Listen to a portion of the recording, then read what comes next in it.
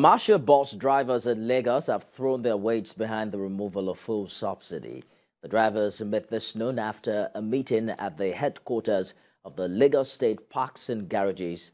Deputy Chairman uh, Sulaimon Ojora, who stood in for the State Chairman Musiliu Akinsanya, commended the drivers for showing understanding with their leadership. Mr. Ojora pledged that the passengers would not witness astronomical increase in bus fares.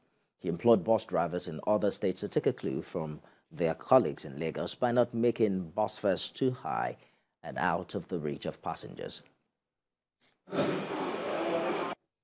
Lagos State Council of Lagos State Parks and Garages hereby set up a seven-man committee to monitor and visit all our branches in order to adhere to the dictates and decision reached today by the Lagos State Parks and Garages.